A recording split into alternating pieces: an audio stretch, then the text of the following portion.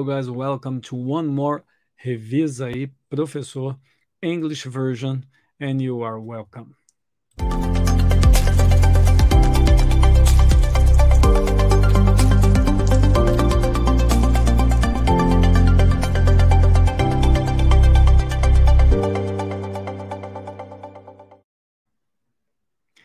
We are very happy for one more opportunity and in this lesson, lesson five, extreme heat, we will study about many characters and points to understand whys and hows of our life.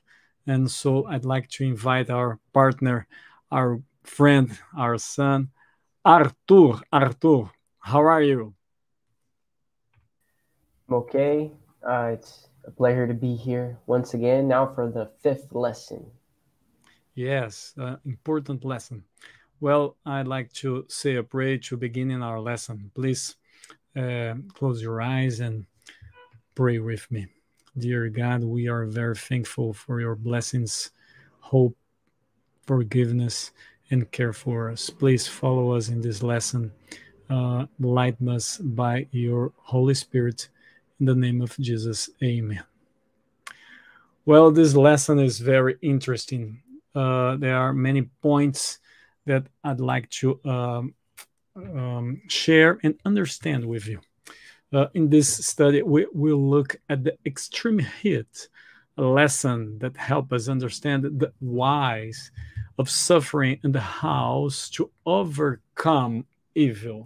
Of course, the lesson, the authors uh, ask a question about whether God has any fears of being misunderstood. That's the point. I don't believe that God is concerned about that. God is uh, uh, uh God does not change. He's uh, our creator, is uh, our father. Nothing can stop him. So uh, I'd like to begin with this point, with my opinion. Out, the author places this idea about the fear of God. Well, I understand that's a discuss, disgusting question, question to our class and friends, but uh, I think that uh, God is above of this kind of idea. So let's look some ideas about this lesson. The first question to open our lesson uh, with Genesis 22 about Abraham's and Isaac is why did God ask Abraham to kill his son? Well, this question is a eternal question, right? Well, this is the Sunday's lesson, and I like to uh, respond. My uh, my answer will be the answer I would give will be what did God need Isaac's death for?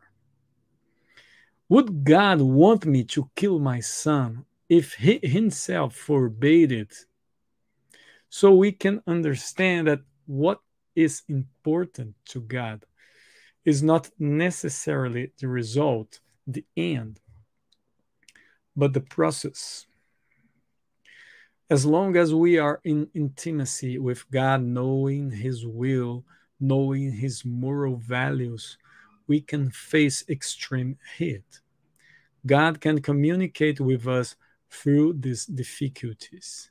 So Sunday's lesson opens in this thought about this kind of test. God was concerned about Abraham, not Isaac. Do you understand? That's uh, a point to meditate. On the second point, Monday's lesson talks about Hosea. Hosea uh, is a wonderful history because uh, God asks him uh, to take his unfaithful wife back. And I like to share four points that I learned in this question. The first point, uh, responding our our question in this day.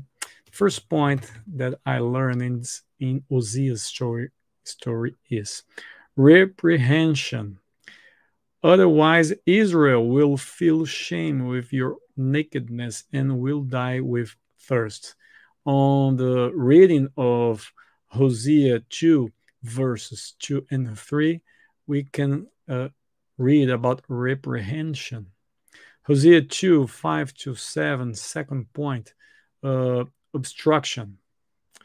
God will block uh, her path with thorn bushes, will wall her in so that she cannot find her way.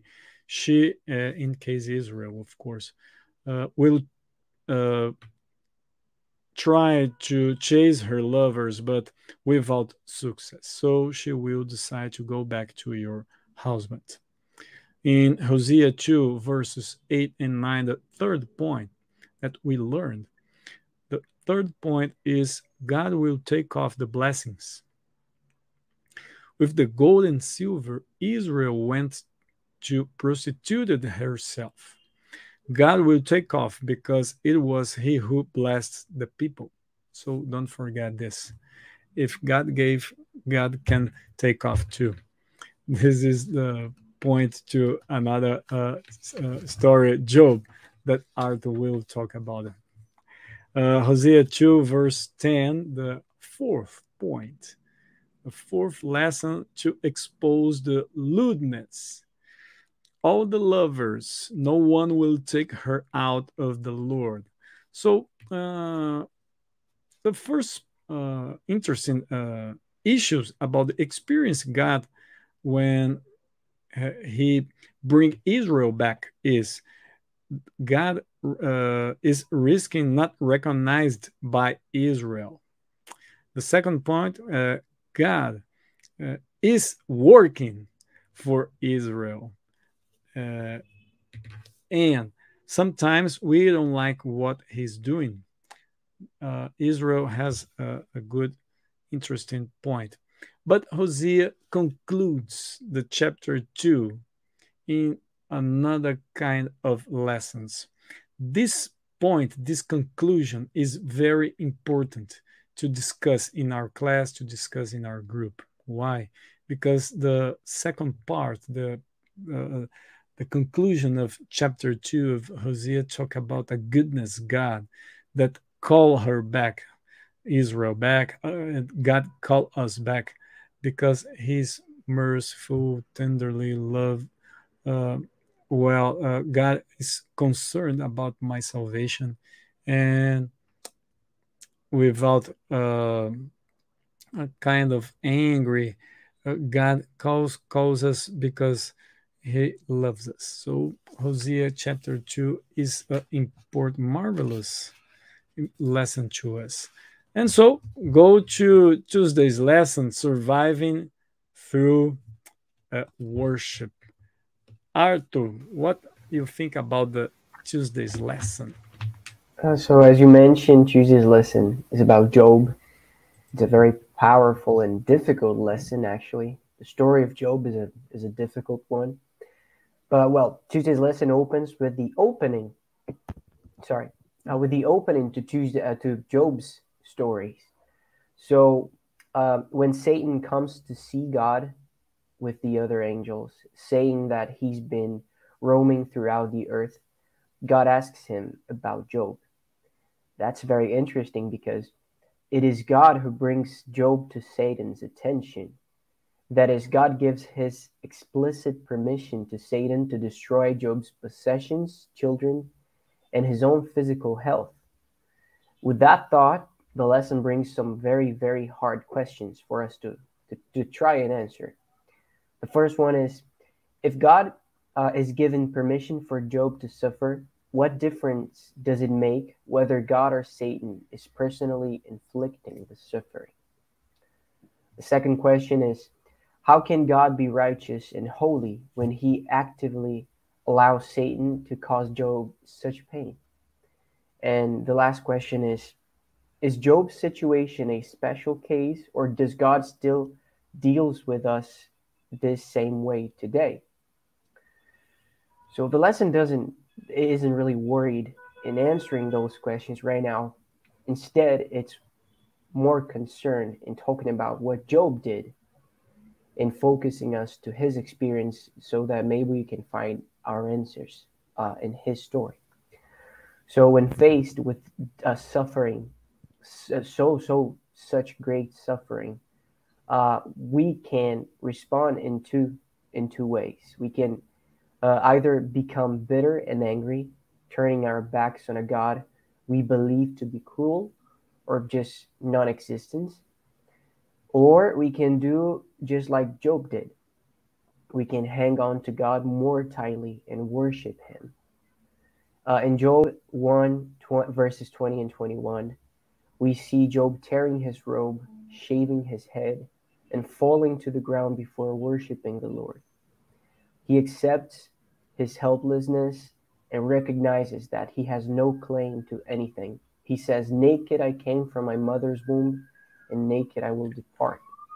Important lesson. Uh, yes.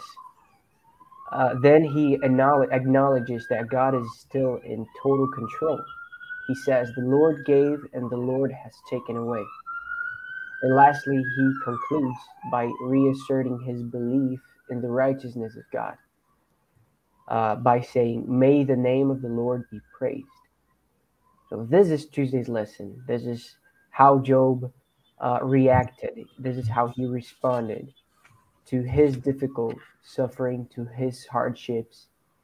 And, and as I said, it, yes, yes.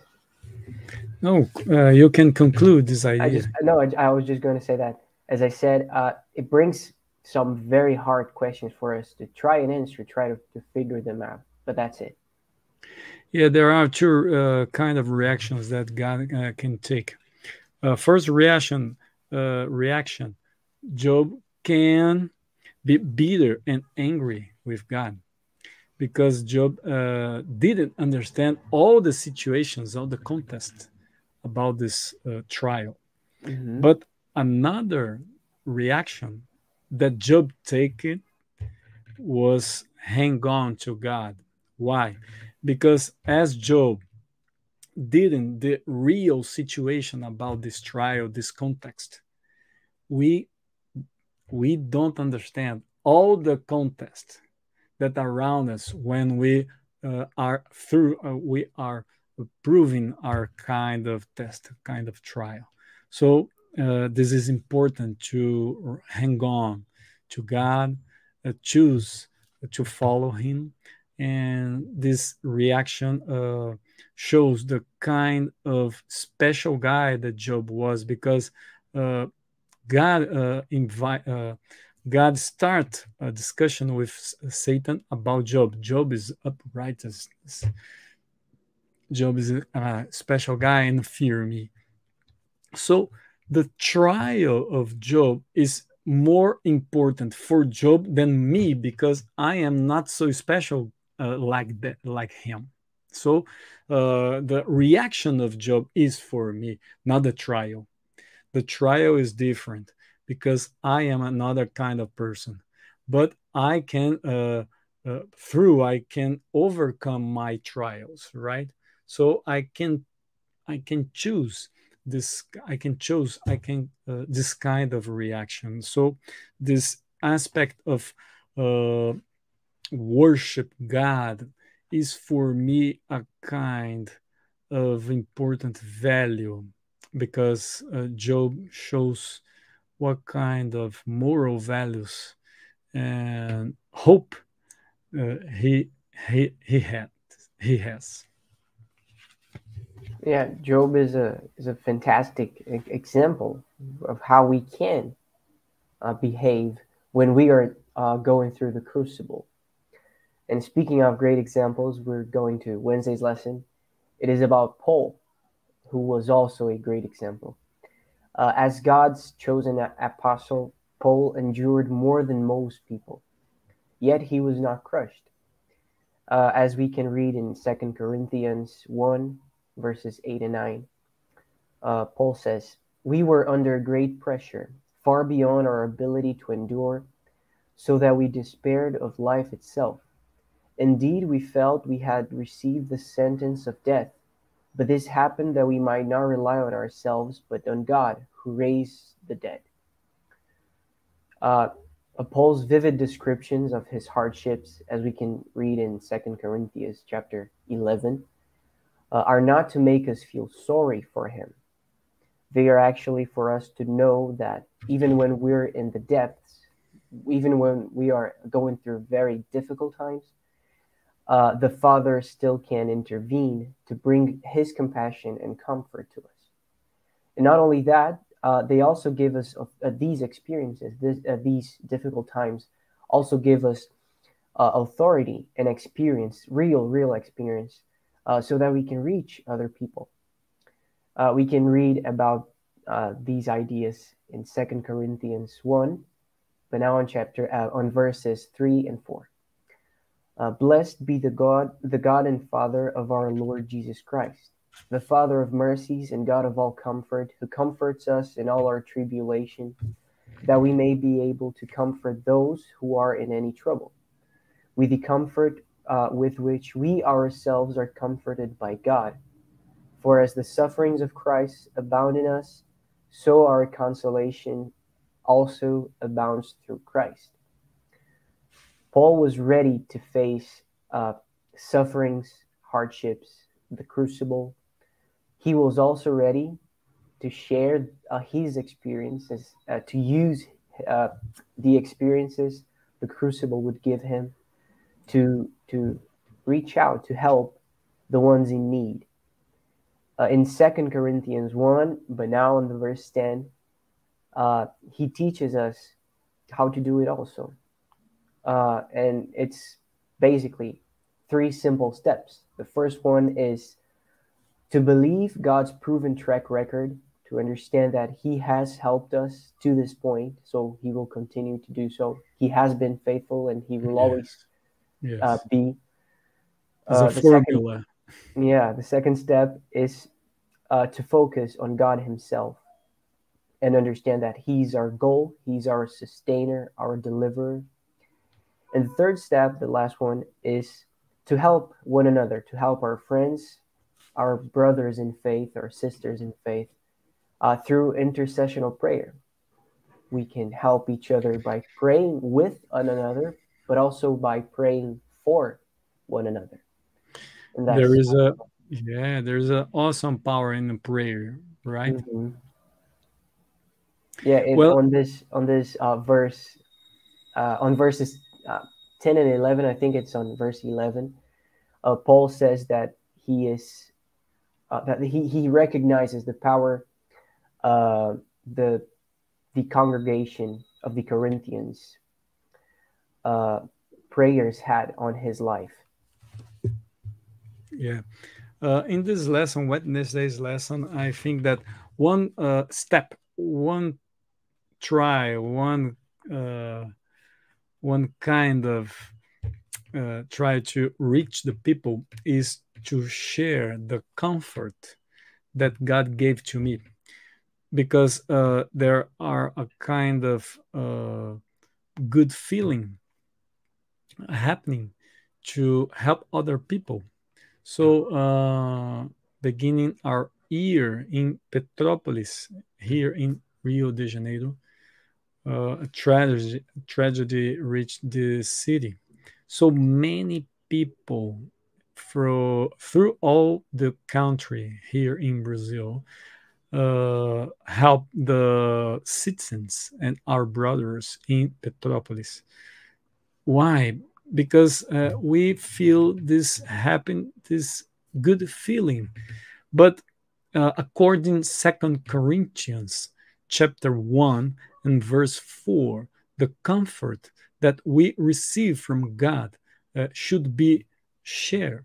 So the testimony that what God uh, did for you can uh, comfort other people because other people uh, is uh, sometimes in, in these uh, difficult times has difficult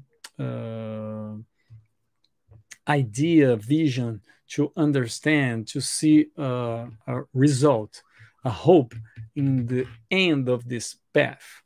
And another kind of point, as you say, the intercession, the about prayer. So the be a pray uh, intercession prayer is very important to share this kind of hope. There are another point in Wednesday's lesson that is a trap.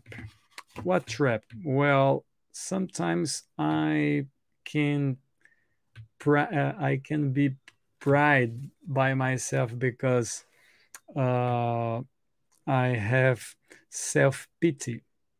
And when we help other people, we uh, we think more on other people than me. So uh, help other people is a kind of uh, fulfill the mission that God gave to Israel and for us too. Comfort my people.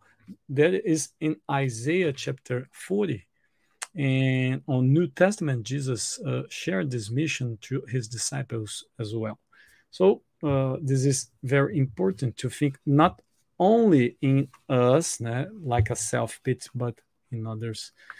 There is an important point. So, uh, can I go on? Thursday's lesson, Extreme Heat, the same title of our lesson.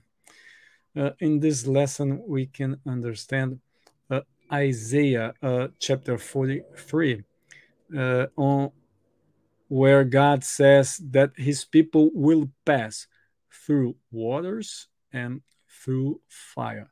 These are, of course, uh, figurative of extreme dangers, but perhaps uh, they hint at the crossing of the Red Sea and the Jordan, both fearful times, but times that paved the way to a new life.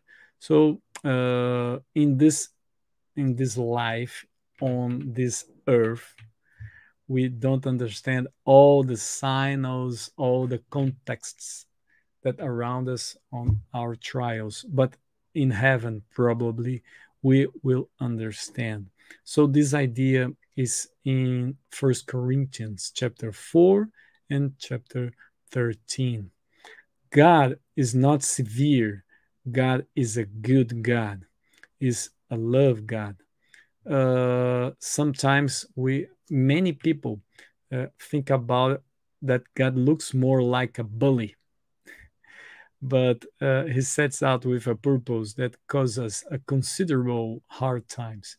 But these hard times is not the not the concern about the results, the end, but to bury us, to transform us as the process go on.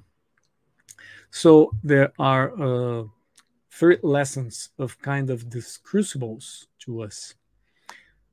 The first lesson that God's extreme heat is to destroy our sin, not ourselves. The second lesson God's extreme heat is not to make us miserable, but to make us pure as we were created to be. Wow, this is very important. Third lesson God's care for us through all things is constant and tender. So God is the same, so never change. So He will never leave us alone. Because on Psalm 23, God uh, suffering with us. So this lesson is very interesting. Not uh, I'm not concerned about the fear of God to be misunderstood uh, for all humankind. No, no, I don't think about it. I agree that the providence of God, His care, His love, His tender for us, His goodness is attractive, is the attractive to uh, our choice to hang on to Him. So I'd like to finish reading one paragraph on Friday's lesson there are in Testimonies for the Church, Volume 5, page 316, the second paragraph of Friday's lesson. If, in the providence of God, we are called upon to endure trials, let us accept the cross and drink the bitter cup, remembering that it is a Father's hand that holds it to our lips. Let us trust Him in the darkness as well as in the day. Can we not believe that He will give us everything that is for our good? Even in the night of affliction, how can we refuse to lift heart and voice in grateful praise when we remember the love to us expressed by the cross of Calvary. So, this thought, uh, remember the Tuesday's lesson that uh, Arthur talks about. So, this is the uh, lesson five about these trials, about the whys and hows the suffering and trials came upon us and can bruise us, transform us, uh, reshape us in the new creatures. Arthur, final words. What do you think? It was a very, very interesting uh, lesson.